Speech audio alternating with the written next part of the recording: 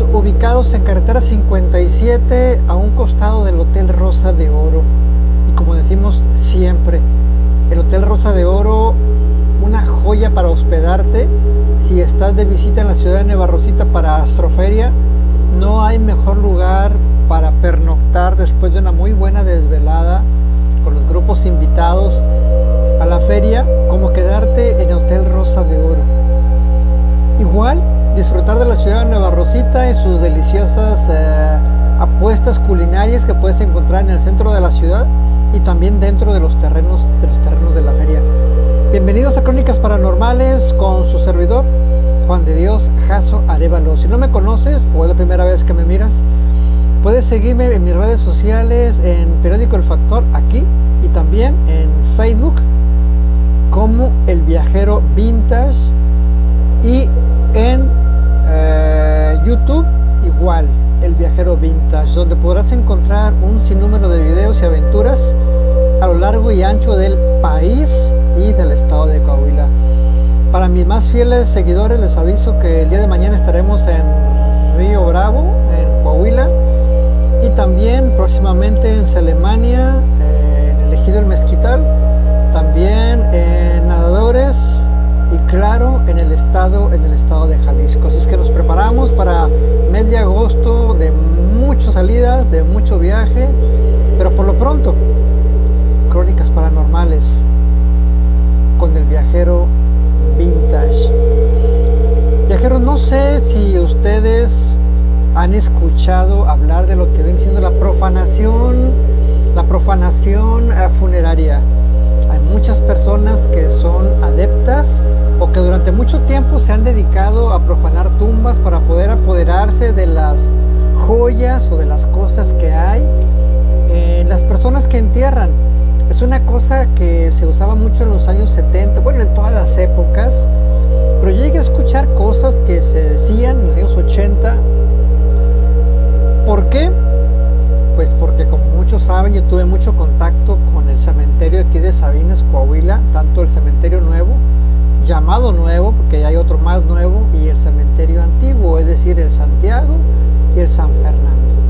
Entonces, hay mucha gente que se le hace fácil apoderarse de las joyas, de las cosas que tienen los difuntos, pero nunca miden la consecuencia.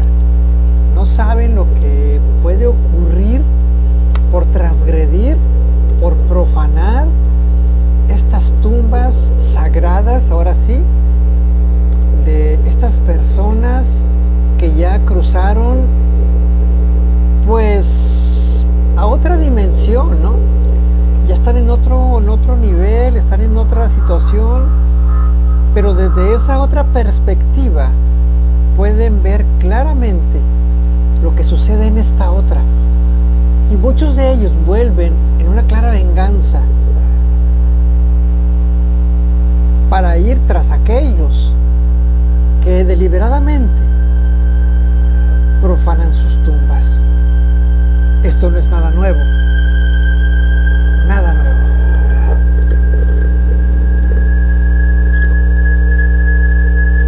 Les doy la muy cordial bienvenida a Vicky González. Gracias Vicky por acompañarnos. Eli Barrios, como no. Cristina Guerrero, saludos desde Nueva Rosita. Alberto Martínez, saluditos también. Y para Ana Ibarra, Crónicas Paranormales. El robo a los que recién han muerto.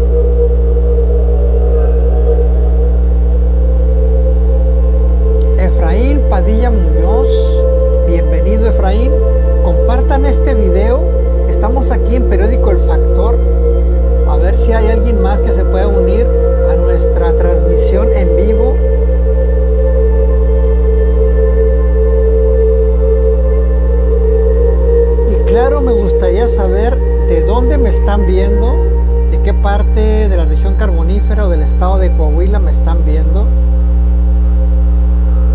de qué lugar.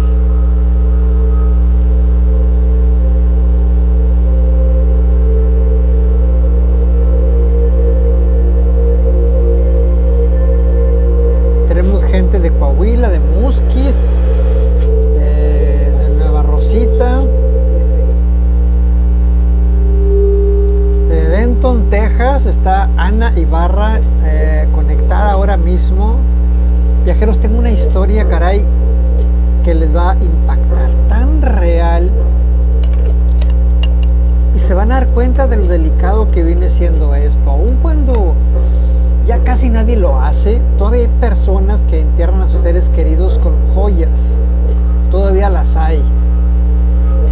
Aunque ya ahorita las funerarias recomiendan que no se haga. James Moreno, saludos de San Antonio, Texas, bendiciones viajeros. Igual para ti, James. Mañana estaremos en Río Bravo, Río Bravo, eh, Coahuila. ¿Y con quién creen que voy? Con Delicious Unidad Móvil. Vamos a vivir aventuras con Delicious Unidad Móvil para contrataciones en su página oficial. Ahí podrán tener un, un evento cargado de sabor.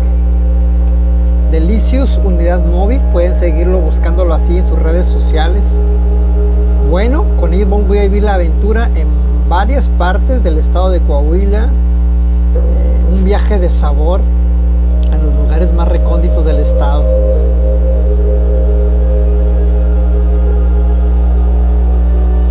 Crónicas paranormales.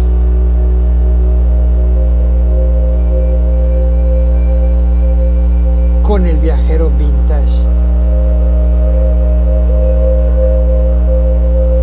Viajero, ahora mismo tengo 77 años, pero a mis 30 era pero bueno para meterme a las tumbas viejas, robarme cosas.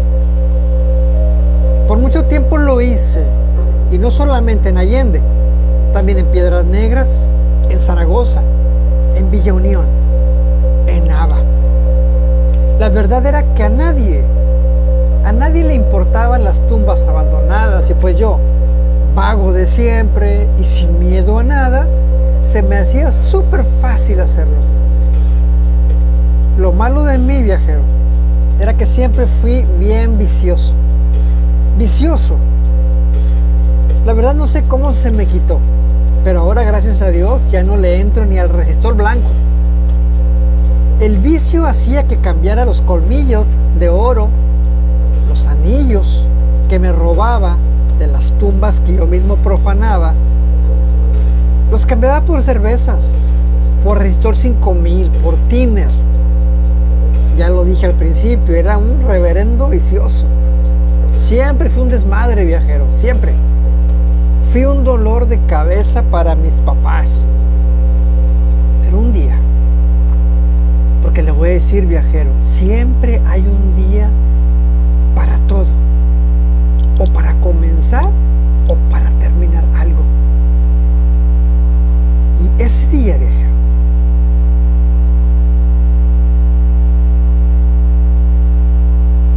algo empezó mal para mí.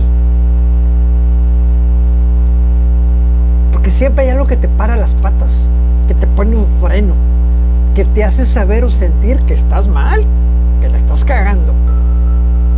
Lo mío no fue una regañada del destino, viajero. Fue un estirón de oreja que aún sigue doliéndome. Creo que yo tenía entre 25 y 30 años cuando me encontraba con una de mis muchas novias sentada en una de las tumbas en el Panteón de Morelos. Y mientras estábamos en nuestras cosas, caía la tarde. Vimos un cortejo fúnebre que iba llegando al panteón. Le dije a mi amiga novia que me esperara un rato y aprovechando que yo no iba tan mal vestido, iba más o menos bien vestido, me metí entre la gente. Y cuando estuve ahí, metiéndome entre la gente y estuve casi hasta el mero frente, vi al muertito y realmente yo me emocioné. Claro, me emocioné sin perder la cordura, sin perder mis, mi expresión de aflicción, como que si fuera un, un pariente mío el que estaba ahí en la caja, pero al mismo tiempo yo miraba. Y lo que me llamó la atención fue que la mujer, que era una mujer muy anciana, tenía un par de anillos puestos que se miraban que eran muy buenos, tenía un collarcito que me hizo despertar la avaricia. Para no, no parecer sospechoso, me quedé hasta el final. Escuché los guitarrazos, las cuerdas haciendo llorar a los presentes, a los hijos llorando desconsolados. Me aventé hasta el último puño de tierra que le echaron a la tumba.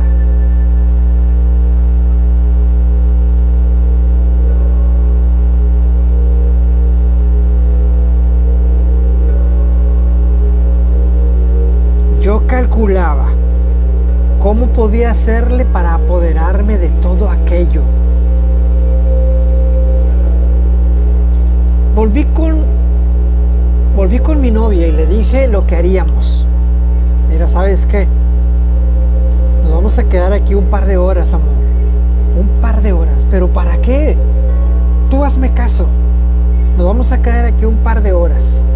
Y cuando esté lo suficientemente oscuro, voy a abrir esa tumba. ¿Pero para qué? ¿Estás loco? No estoy loco. Tú hazme caso. Y no te vas a arrepentir de haberme esperado. Ay, amor, a mí me dan miedo esas cosas. Creo que lo mejor es que me vaya y tú haz lo que tú quieras. No, no, te vas a quedar aquí conmigo. Es peligroso que te vayas tú sola. Amor, está bien. Entonces me metí,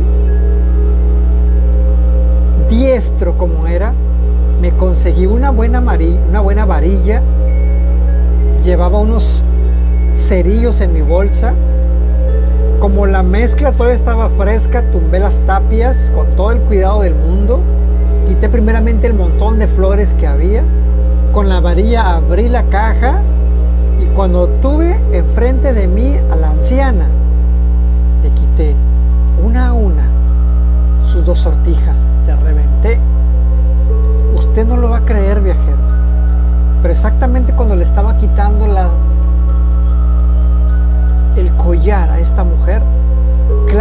sentí que su mano se me puso aquí sobre, mi, sobre mi canilla de mi mano.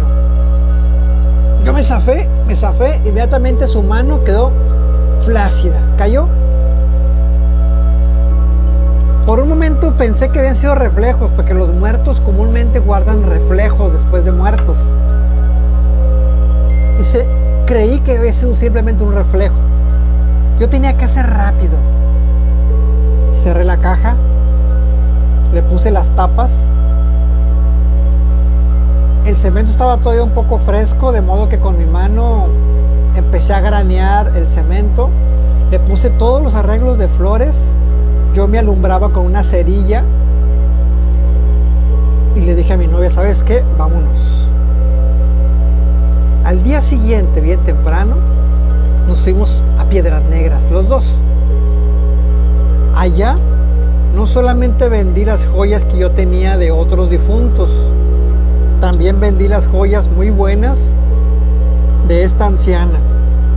Lo que me dieron a cambio fue una cantidad muy buena.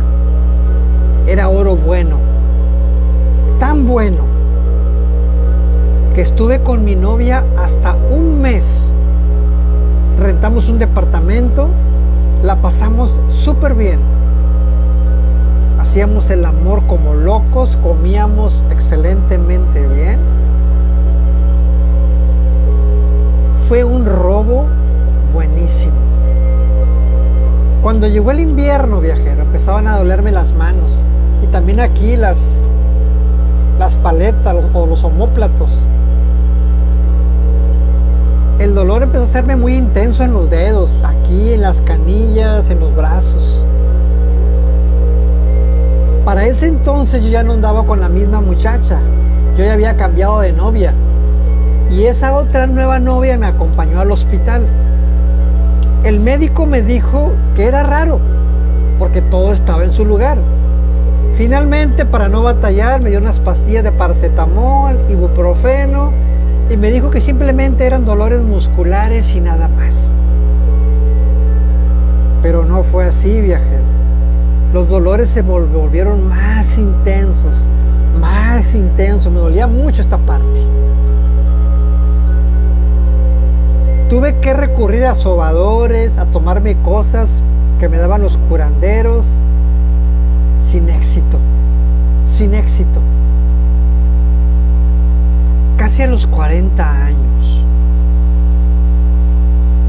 Y soportando años de dolores que se me incrementaban en diciembre, me decidí ir con un buen médico y tras hacerme unos rayos X, curiosamente la radiografía salía medio rara.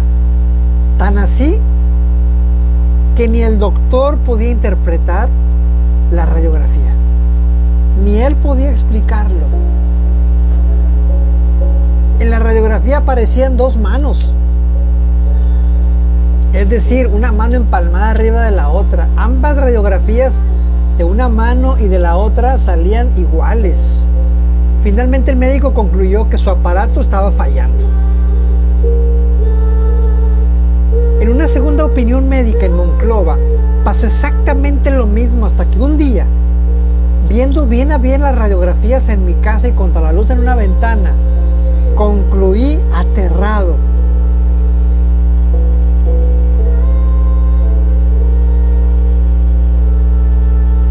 De que las manos que aparecían en las radiografías eran de la viejita intentando detenerme para que no le robara el collar. Ese dolor justo aquí en mis manos, en mi canilla, me convencí de que eran de esa muerta que me había sujetado.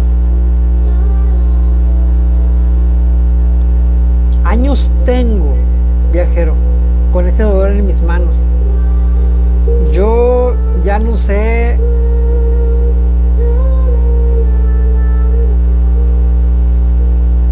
sea el dolor causado por eso, por esa experiencia paranormal. No sé. Pero justo el día 19 de diciembre, que fue el día que robé, ese día se me incrementan los dolores de una manera espeluznante. Lloro, viajero, grito, soporto esos dolores. Yo he intentado reivindicarme, he ido a Morelos varias veces, he llevado un par de sacerdotes para que le echen agua bendita ahí a la tumba. Nada funciona, nada funciona. ¿Cómo recupero las joyas?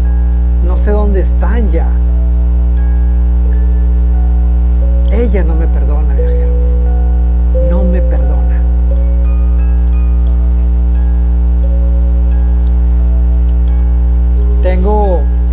dos, dos comentarios de dos viajeros por aquí que me gustaría compartir con ustedes también. Dice, viajero, soy de Nava. Una vez en el panteón de aquí de, de la ciudad, me persiguieron cerca de 10 gatos. Todos eran negros. Todavía era de día. El detalle, viajero, es que yo no andaba sola. Aparte era día de muertos, había gente en el panteón. Algunos se reían de lo que pasaba porque los gatos iban en fila atrás de mí. Yo siento que ellos sabían algo. Esa energía negativa que ellos traían es porque ellos, ellos sabían algo. Y pues bueno, ¿cómo no? Si yo tengo cuentas pendientes. Pero pues bueno, eso es otra historia. Pues sí, otro comentario por aquí dice, viajero, cuando yo caí en la noria de niño, cuando caí en una noria, cuando era yo muy niño, ese día supe que jamás yo volvería a ser el mismo. Toda una noche estuve ahí abajo. Creía que nadie me estaba buscando. En el fondo no solamente había basura, había perros y gatos muertos. Al día siguiente, ya por la tarde, me sacaron con una soga, tuvieron que meterse para poder ayudarme porque estaba bien débil, donde no tenía agua, comida, nada. Luego de batallarle mucho, me sacaron. En la actualidad soy un hombre muy miedoso, muy temeroso. En mis oídos constantemente suenan los ecos que yo escuché en el fondo de la noria. Me retumban, todavía con ahora mis 60 años, me retumban esos ecos que escuché cuando era muy niño. Pues bueno.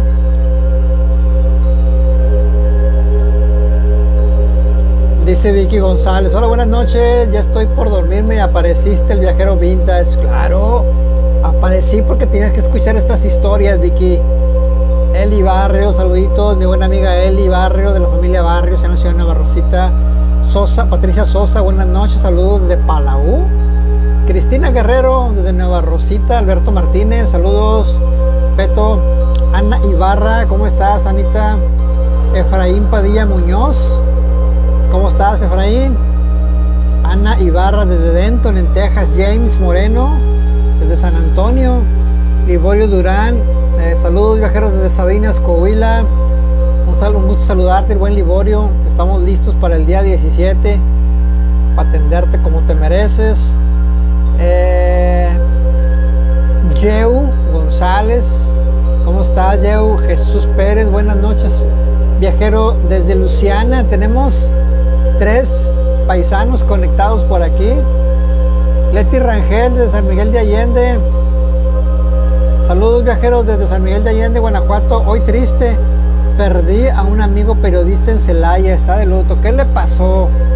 No me digas que otro periodista asesinado. No me digas eso, por favor.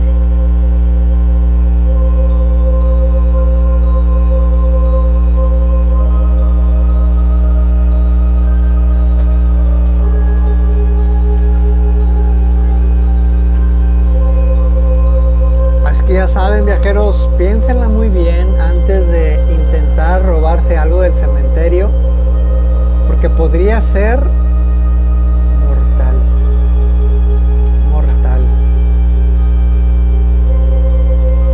Raquel Ibarra desde Melchor Mosquis, pueblo mágico. Pueblo mágico.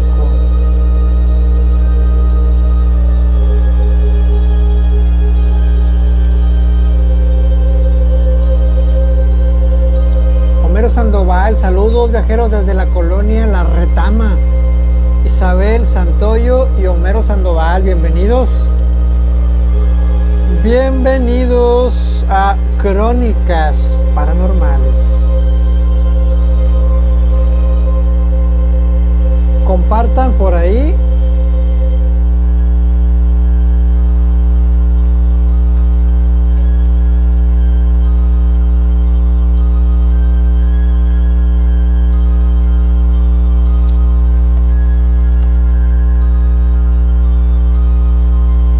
cumplí los siete años, cuando cumplí los siete años, papá me encerró en el hueco de un árbol en la ribera del río Sabinas. Ese árbol todavía olía quemado, pues unos vándalos lo habían chamuscado. Hacía poco, como unos tres meses. Por fortuna el árbol no se había muerto ni caído. Pero para mi mala suerte, un día que papá había vuelto súper borracho de la mina, se puso a regañarnos a todos sus hijos porque le habíamos dejado regada su herramienta de trabajo. Éramos muy niños y yo, una niña tan inocente que no sabía lo que venía. Nos gustaba mucho hacer caminitos en la tierra con el asadón y luego usarlo como carreteritas con los carritos de mi hermano Julián. Hasta ese momento, todo todo estaba bien. A veces una bonita infancia, pero esa borrachera de papá trajo consigo el que me, el que me estuviera tan molesto y que me metiera en el hueco de ese árbol. Cuando cayó la tarde, las láminas estaban tan bien clavadas al árbol, las láminas con las cuales papá me encerró, que era imposible que yo escapara. Cuando oscureció y quise gritarle a mamá para que me ayudara, grité, grité. Ella me escuchaba, pero no me obedecía porque ella respetaba a papá por puro miedo. Mamá siempre fue una mujer golpeada y yo igualmente junto a mis hermanos. Nuestra felicidad radicaba en el río y los amigos del barrio, pero estar en casa era un verdadero infierno. Encerrada en el árbol comencé a escuchar ruidos raros. Siempre he sido una miedosa, que no dudé ni por un momento que fueran las lechuzas, vampiros, qué sé yo, lo que anduviera allá afuera.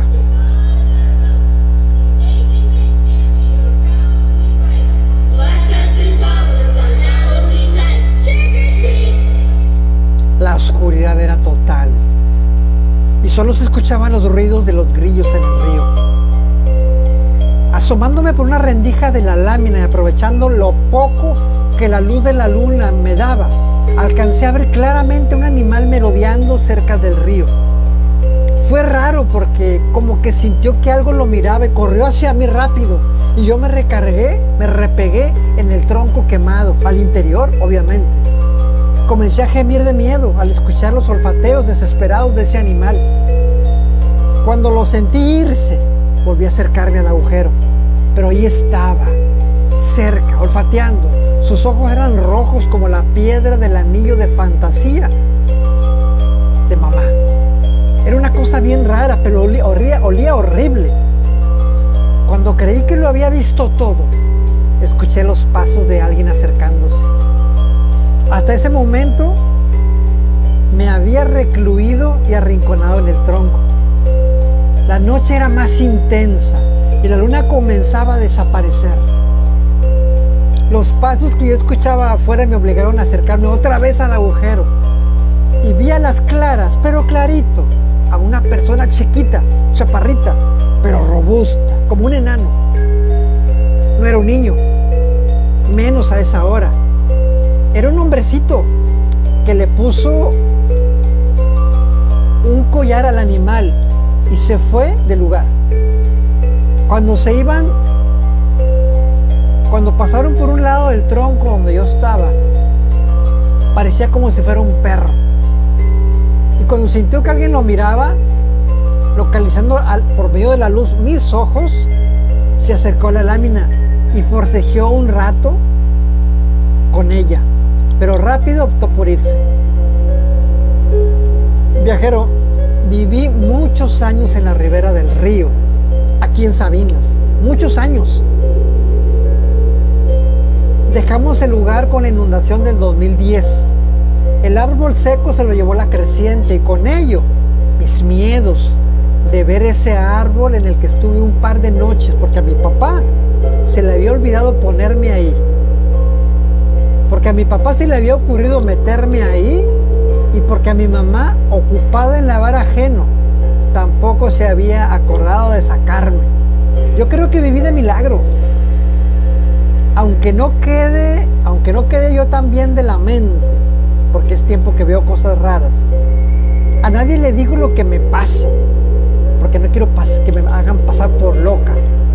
Pero que de, pero de que vi un perro extraño dirigido por un enano peludo feo, todavía más extraño. Eso sí es cierto.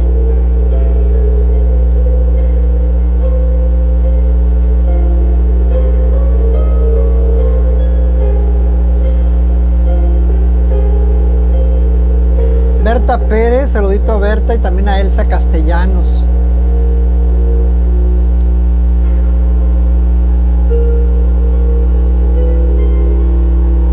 Castellanos de la ciudad de Navarrosita, Coahuila. Viajeros, siempre, siempre es un placer estar con ustedes a esta hora de la noche, los domingos y los lunes. El día de mañana probablemente estaremos transmitiendo desde Río Bravo, Coahuila, es probable Así es que estén bien pendientes para mañana.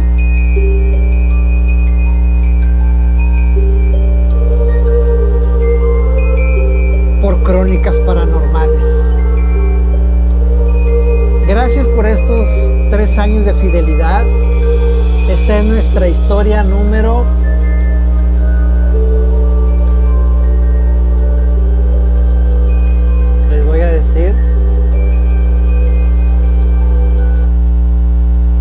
hasta este momento tenemos 109 historias. 109 historias hemos contado, imagínense. 109 historias paranormales hemos presentado por aquí en este programa. Gracias por seguirnos tan fielmente y gracias por seguir este canal virtual de noticias. Por medio de este programa le damos nuestras condolencias a la distinguida esposa del profesor Acosta, que es director, que fue director de la del Cebetis 20, que recibimos la triste noticia que el día de hoy falleció y pues su esposa era una muy fiel seguidora, es una fiel seguidora del viajero vintage y yo le mando mis más sentidas condolencias porque muchos conocimos al profesor Acosta. me dio mi clase de matemáticas allá por cuarto semestre. Y pues bueno, son cosas que suceden y pues bueno,